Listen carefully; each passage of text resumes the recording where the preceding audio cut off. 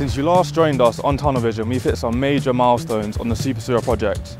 We're excited to say that all underground construction has been completed. The tunnel beneath the River Thames is fully built, stretching from west all the way to East London. We've lifted and placed London's biggest manhole cover, capping off the last and deepest shaft located at Abbey Mills. We've also connected the Thames Tideway Tunnel to the existing Lee Tunnel, creating one linked system. So you might think our work here is done. So what happens next? Stick with me and you'll find out. I'm Kieran and this is Tunnel Vision.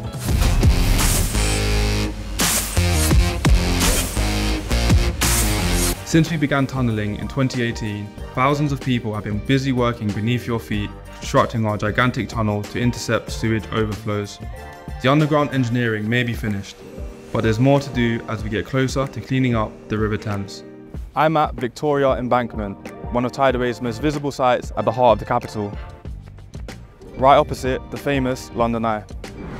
Just over there, beneath our site, is a 54 metre deep shaft that connects the existing sewer system to the new tunnel. We're also creating new embankment spaces.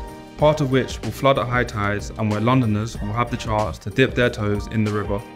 These new pocket parks will be a visible legacy of all that's gone on below ground.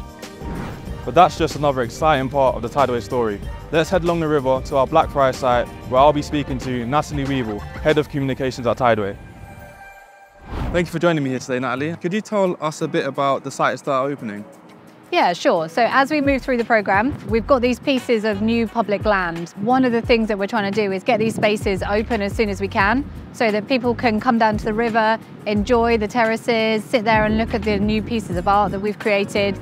There's still quite a lot of work going on at the moment, but as soon as these pieces are ready, we'll have them open for Londoners to enjoy.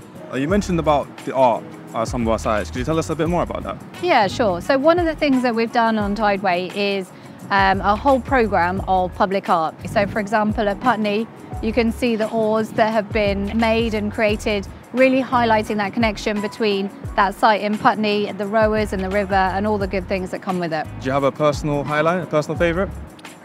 There are so many good pieces of art and we're still seeing some of them be created. So here at Bazalgette Embankment, we've got these amazing art installations by Nathan Coley. What we're anticipating is that the public will come along and they can stand alongside these, lean back, relax, use them as performance spaces. It's just a really interesting way for people to engage with the space here that we're creating at Bazalgette Embankment.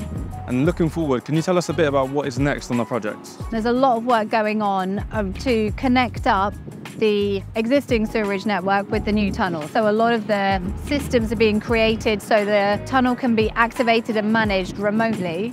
Day by day, we're one step closer to really getting the sewage out of the river and cleaning up the River Thames. We should have uh, a position where we can say London's river is now protected for future generations and Tideway has done its job of cleaning up the river and reconnecting London with the River Thames.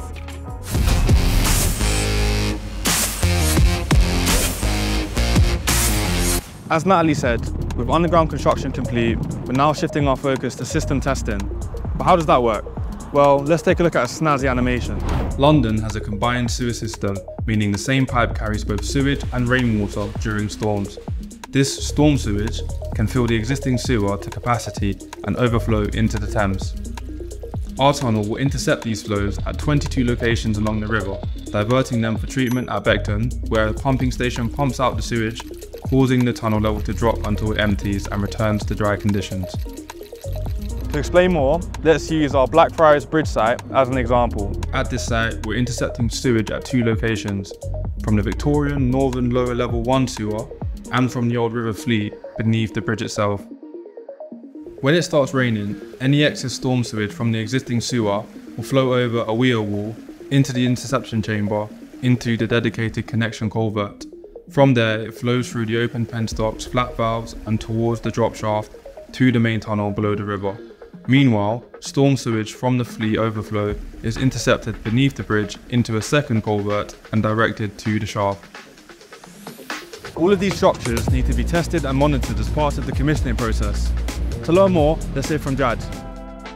The tunnels itself are pure concrete and shafts, whereas the, the control systems are the penstocks, the air management systems. We're now bringing all of those elements together. We're going to test in the first instance in the dry, We're recording that through the control systems. We're managing alarms, monitoring alarms. That something could happen in the west affecting something in the east.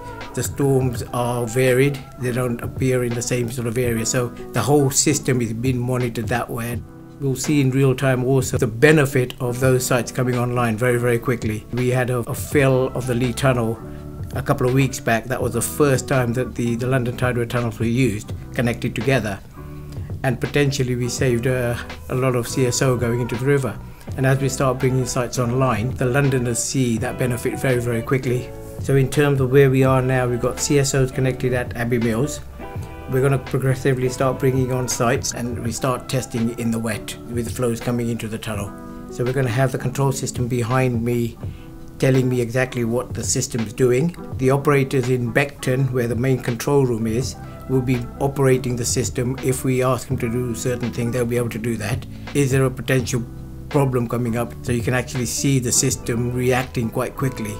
We're now looking at over 21 kilometers it's been a great journey. So I've gone from inception to commissioning on a project that's cleaning up the river. So I'm really excited about that.